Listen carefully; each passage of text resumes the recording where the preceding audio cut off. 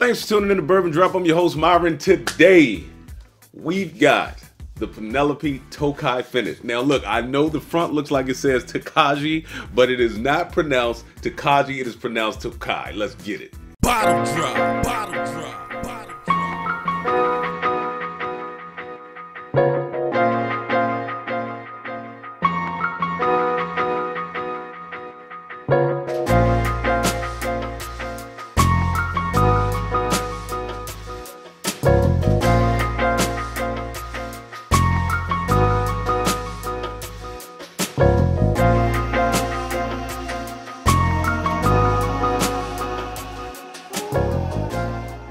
So this is also part of the Cooper Finish series that Penelope does. This is a 95.5 rye. It comes in at eight years old and 106 proof.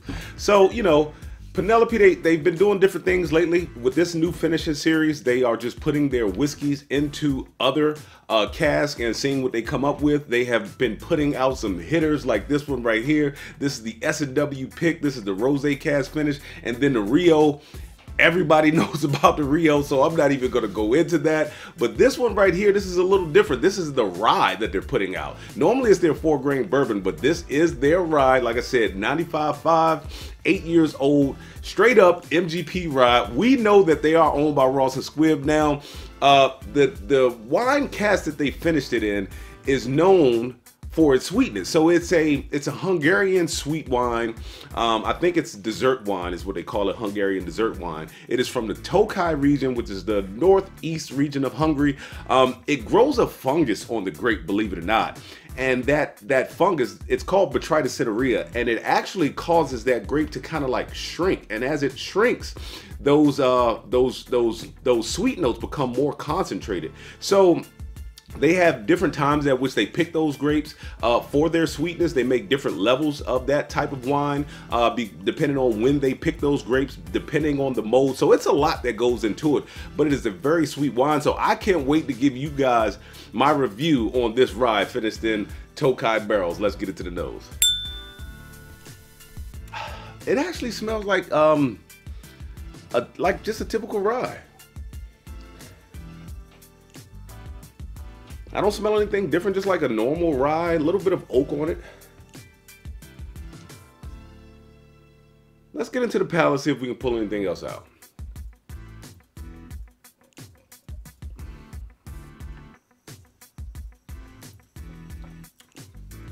Oh, that's sweet.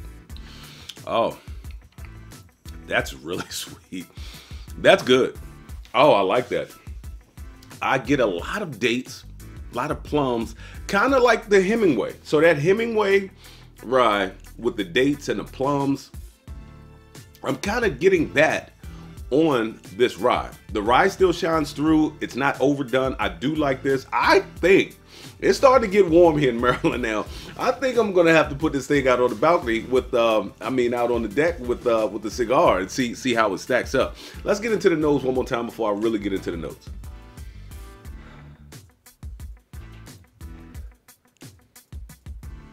A little doughy on the nose now. A little bit of a sweet vanilla. A little bit of fruit starting to come through. Yeah, I normally don't pick up notes on the nose until I get into the second sip. Sometimes they hit me right away, and then most of the time I have to get into that that second sip and then go back to the nose to pull everything else out. All right, so let's get into the palate one more time and see what it has to offer.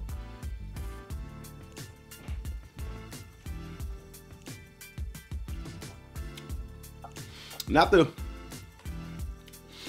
not the boldest palate in the world. Like I said, it's super sweet. It comes across the palate super sweet. Has a little bit of a citrus thing going on now.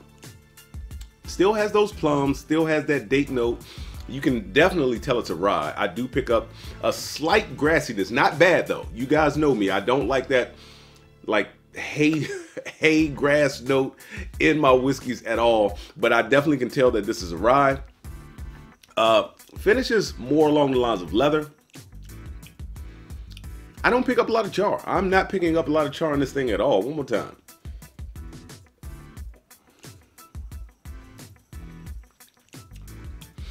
Yeah, just really sweet, really easy to drink. For it to be 106 proof, man.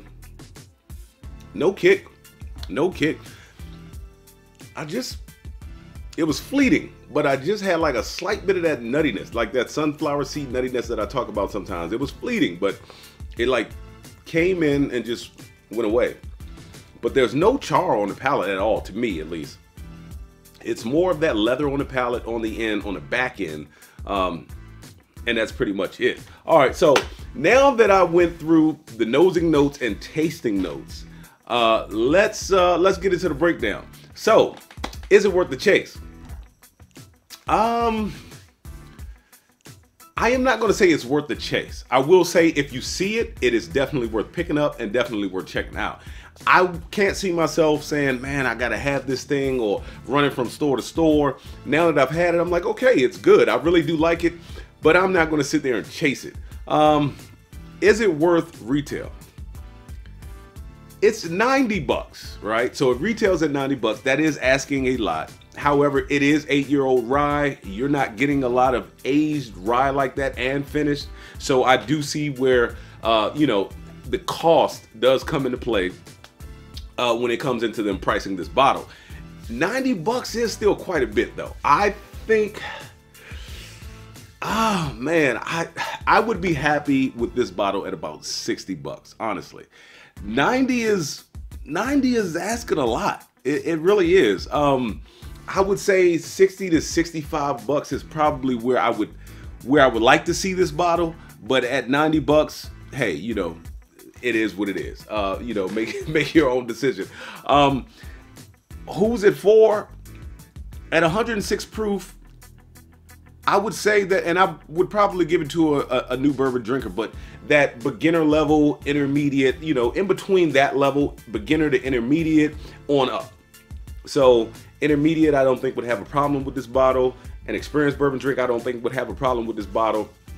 A newbie, it might be a little too much for them, but I think, you know, if you gave it to a new bourbon drinker, I think because it drank easy to me. Now, I can drink some high proof stuff, so that doesn't say a lot, but uh, I would at least pour them a little bit and then see where it goes, you know. But definitely like that kind of beginner to intermediate where they're starting to handle 100 proof products and they're like, okay, 100 proofs aren't bad, you know. They can, I think they'll be able to handle this at 106. Um, will it always be on a bar? I don't think it will always be on a bar. I, and the reason why I say that is because after this one is gone, I am not going to be running out to go get it. Is it good? Yeah, I like it. It's very sweet. You have to be a rye lover because it does offer some of those. It, it's not bad. Some of those grass notes through do shine through. It's very sweet. That Tokai finish on it. Um, so, like I said, I don't think it's always going to be on the bar. Um, if I do run out, it's not like I'm going to be running to the store to get another one. And with that being said, let the whiskey flow. Never run out unless you head it to a drop. Till next time.